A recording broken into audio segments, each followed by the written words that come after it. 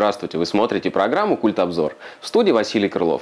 В этом выпуске мы поговорим не о событиях, прошедших в Ярселе, а о людях, ответственных за культурную жизнь нашего поселка. Творческие люди всегда полны новых идей, а там, где появляется новая творческая личность, обязательно происходят интересные изменения. С этим согласен и новый заместитель директора Ямальской централизованной клубной системы Татьяна Ступина.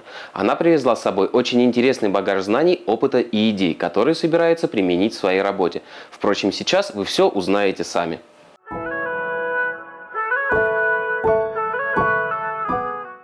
Татьяна, расскажите, пожалуйста, нам, откуда вы приехали. Я приехала с города Нижневартовск. Э, это Ханты-Мансийский автономный округ, в котором э, проработала более 12-13 лет. А родом я с Башкирии. Кем вы работали до приезда сюда? До приезда в Ярселе я э, последнее место работы – это заместитель генерального директора рекламно-производственной компании широкого спектра услуг. То есть занималась также организацией и проведением мероприятий. А основная, конечно, работа, она на протяжении уже более 25 лет, это учреждение культуры. В том числе и учреждение культуры города Нижневартовска. А, Центр национальных культур и затем Дворец искусств. То есть это получается, какой у вас общий стаж э, работы в учреждениях культуры, ну вообще связанные с культурной деятельностью?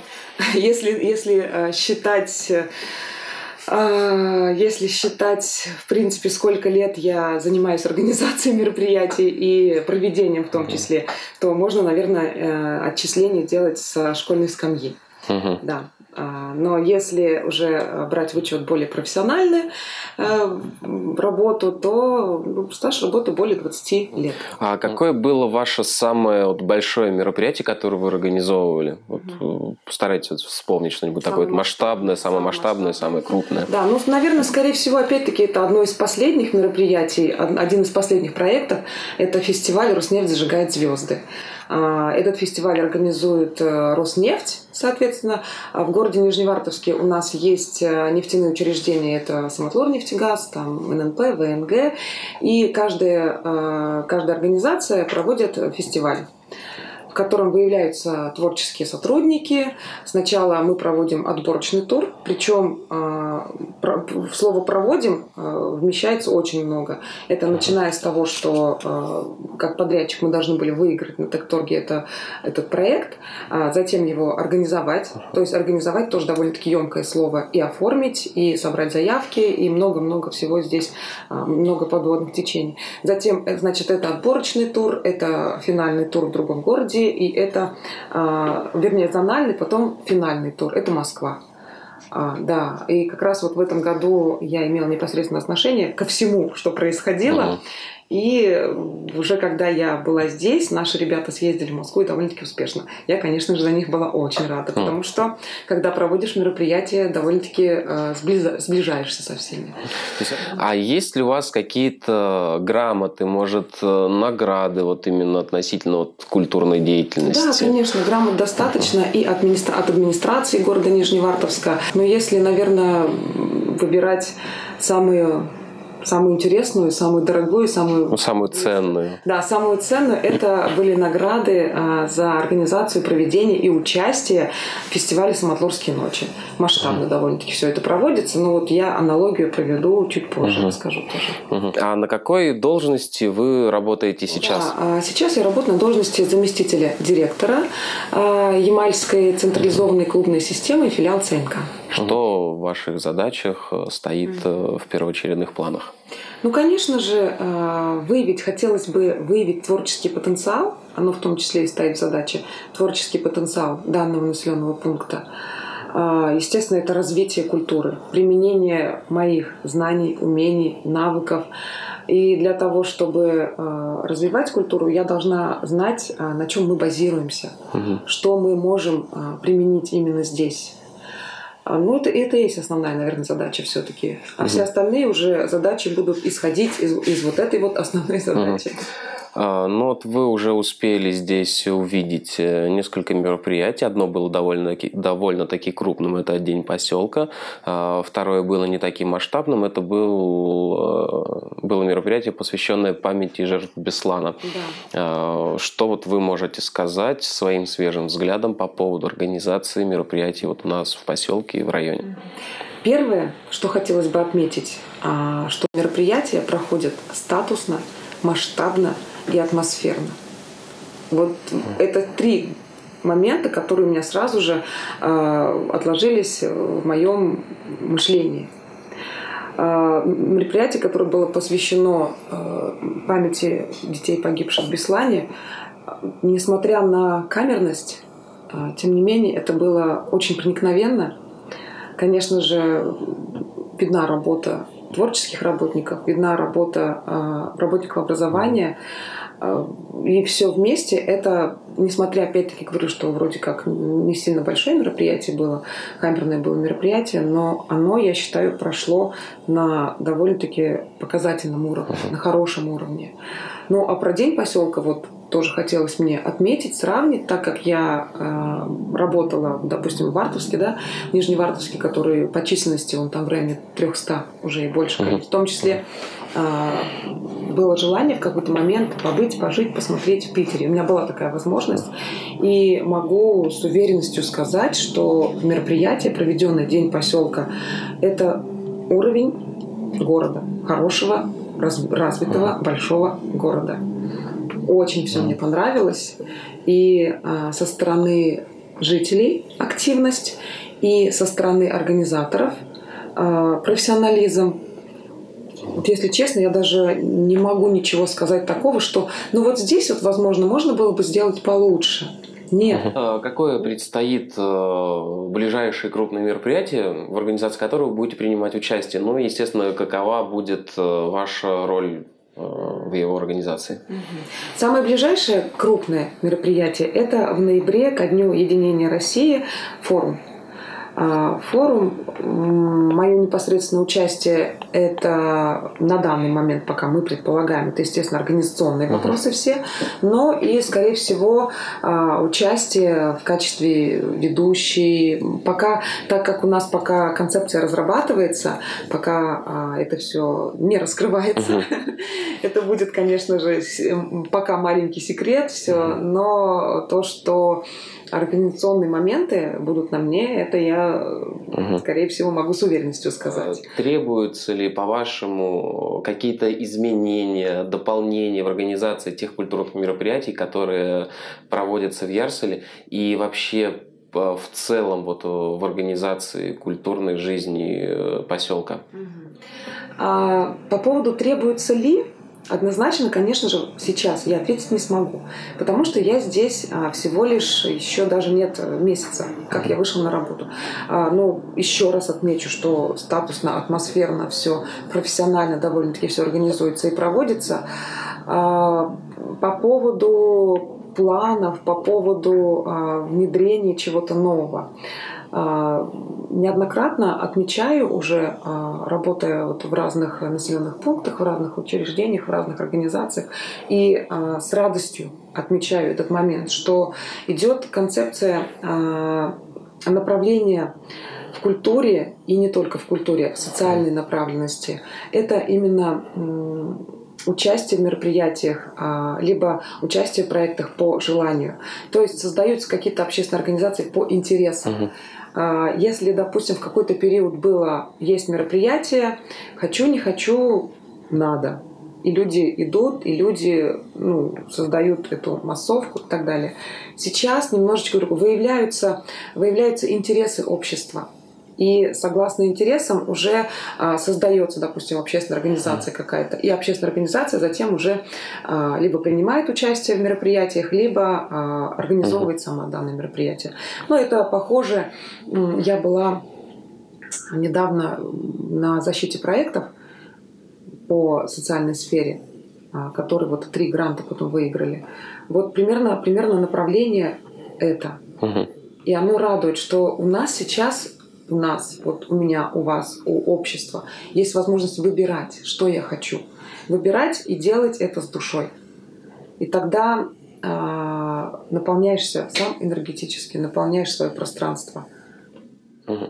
Ну и опять же, я полагаю, что вы, приехав сюда со своим э, опытом, со своим багажом, наверное, привезли с собой какие-то новые идеи. Э, может быть, приоткроете завесу тайны, расскажете, может, вы планируете э, реализовать здесь какие-то новые проекты, какие-то новые, может, даже авторские, авторские мероприятия, которые будут интересны поселку? Думаю, да. А, первое, что мне хотелось бы сделать, а, это организовать э, фестиваль, конкурс, а, именно, по, как я уже сказала, по выявлению творческого потенциала среди населения. Очень интересно, очень интересны люди творческие, кто поет, кто танцует, кто занимается там декоративно-прикладное творчество и, и так далее, и так далее, и так далее. Талантливых людей много, они есть везде, и мне хотелось бы с ними поскорее познакомиться. Для того, чтобы мы могли плодотворно общаться, для того, чтобы мы могли плодотворно э, организовывать мероприятия, и чтобы эти люди могли показать себя, что вот мы есть такие замечательные. И именно опять-таки таким образом э, получить удовольствие и, конечно же, порадовать mm своих односельчан, ну и гостей Ярсове. У вас э, какое-то образование именно в сфере работы в культуре или это просто вы в себе это развивали сами? Наверное, можно сказать, что развивала сама, получая образование. Потому что э, вот у нас, э, у меня по маминой линии очень творческая семья. Поют, играет на разных инструментах и так далее. А, и вот, видимо, впиталось все это, а, с, наверное, с молоком матери. Ну и начиная со школьной скамьи, а, вернее, вот окончив школу, продолжая, продолжая свою жизнь, я именно встала на путь э, сферы культуры. Э, начиналось у меня все сначала, это были курсы, прям как вот такое поступенчатое образование. Это было сначала, сначала были курсы, закончила, понимаю, что еще хочу, еще хочу больше знать, больше уметь. Э, закончила с красным дипломом республиканский техникум культуры в Башкирии по специальности э, постановщик досуговых программ театрализованных представлений. Затем, прям буквально через месяц, направили с техникума, а, предложили, вернее. Я поступила в Челябинскую академию культуры и искусства, но здесь уже я понимала, что а, мне больше хочется именно организационно-административной работы. Соответственно, я поступила уже на факультет менеджмента, а, менеджмент социально-культурной деятельности. А, закончив Челябинскую академию, я а, как раз вот переехала в город Нижневартовск, проработав там, я поняла, что еще нужны знания, еще нужно развитие.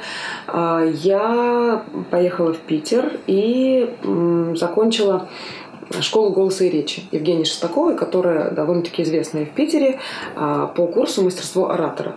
Затем мне этого показалось мало. Я поступила уже в Нижневартовский, Нижневартовский экономико-правовой институт, и буквально его закончила в этом году по специальности государственное муниципальное управление. Вот Сегодняшний день вот такой у меня замечательный багаж а, с моим более 20-летним опытом. И я надеюсь, что вот это, это моя корзина, этот мой багаж, он мне поможет э, быть полезной здесь. А дорогу в жизни каждый выбирает сам.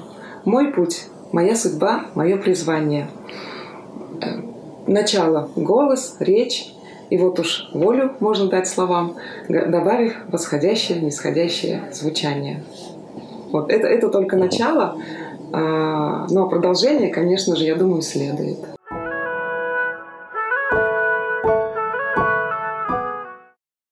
Опыт, любовь к своему делу, интересные творческие идеи и желание их реализовать. Все это принесет свои плоды в виде довольных улыбок людей на грядущих культурных мероприятиях.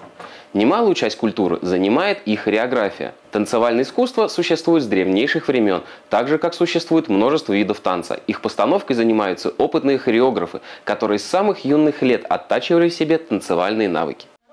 Хореографический кружок ведет свою деятельность в Центре национальных культур уже несколько лет, и совсем недавно в нем появился новый хореограф. Юлия Кравчук приехала из Омска и, несмотря на свой юный возраст, имеет за плечами немалый опыт. танцу ее привлекли еще в детском возрасте. Это было не только интересно и красиво. В танце она могла выплескивать избытки детской энергии. Чем больше она занималась хореографией, тем больше ей это начинало нравиться. Не обошлось и без участия в различных региональных конкурсах. В областном конкурсе балетмейстеров Омской области я заняла первое место в номинации «Детский танец». Затем в номинации э, «Танец на патриотическую тему» я являюсь дипломантом в этой номинации. А позже при выборе профессии уже не было сомнений в том, что жизнь будет связана с хореографией. Сейчас Юлия учит танцам несколько групп детей в возрасте от 3 до 10 лет. Несмотря на то, что каждой возрастной группе нужен свой индивидуальный подход, ей легко удается найти общий язык с воспитанниками. Значит, делаем батман тандю в сторону. Раз. Батман тандю – это выведение натянутой ноги в сторону. Раз. Руку первую. Поближе немножко. Хорошо. Пальцы вместе. Вот просто ладошка. Вот. А, переходим. Два. Угу. Закрываем обратно в третью. Три. То есть у нас теперь поменялась нога, теперь у вас будет левая нога впереди. Теперь делаем поклон. Просто кланяемся вниз с ровной спиной. И смотрите, э, голова подбородком немножко наверх. Четыре. Как отметил новый педагог, то многие дети уже имеют хорошие знания от предыдущего хореографа. Умеют выполнять немало сложных танцевальных элементов – Фактически она получила уже во многом подготовленных ребят, но, несмотря на это, их предстоит научить еще очень многому. Суть обучения хореографии не только научить ребят танцевать, но и чувствовать ритм, понимать каждое движение и в это же время эмоционально взаимодействовать со зрителем. Ну, в первую очередь, наверное, процентов 60 или 70 успеха – это физическая подготовка. То есть сначала я начинаю их развивать физически, то есть вырабатываем высоту прыжка, там легкость ног, шаг, имеется в виду, то есть растяжка. Затем слушать музыку. Обязательно, если ребенок не будет слушать музыку, не будет ее слышать, даже если он будет как-то в ритм все делать, там все равно есть какие-то музыкальные акценты, которые хочется передавать. И третье – это эмоции. Эмоции обязательно. Для каждого танца они свои. Конечно же, обучение в каждой группе организовано по-разному. В младших группах дети работают над растяжкой, пластикой, плавностью движений. И сами танцы гораздо проще, чем у старших товарищей. Чем старше и опытнее группа, тем интереснее и сложнее изучаемые элементы танца. Также Юля не боится импровизировать на своих уроках, смешивая различные стили танца, которые на первый взгляд даже никак не сочетаются между собой. Как показал ее опыт, это развивает творческий потенциал у учеников и просто помогает разнообразить занятия. Методика у меня не авторская, но она отличная, отличается от э, оригинальных, так сказать, методов работы. Но немножко я где-то э, смешиваю стили. Ну, например, народный танец и классический танец в одном занятии. К примеру, как у меня сегодня было занятие. Юлиным воспитанникам такие занятия очень нравятся, но некоторые в силу возраста воспринимают их как интересную забаву. Но все-таки многие внимательно слушают нового преподавателя и пытаются освоить все то, чему их учат, и старательно повторяют все новые движения. Несмотря на то, что занятий прошло не так много, детям новый хореограф уже успел понравиться. Мне понравилось делать колесо, упражнения, мячики. Мне понравилось заниматься. Я люблю ходить на танцы, мне здесь нравится. Нравится колесо, мячики и прыжки. Мы делаем колесо, а потом мячики и прыгаем вот так, как Свет, как там? Мячики, вот так. Нет, вот так мы прыгаем, как? Как отметила Юлия, сейчас основной упор будет делаться на изучение и постановку танцев народов мира. Ну и, естественно, на набор новых воспитанников в свои группы.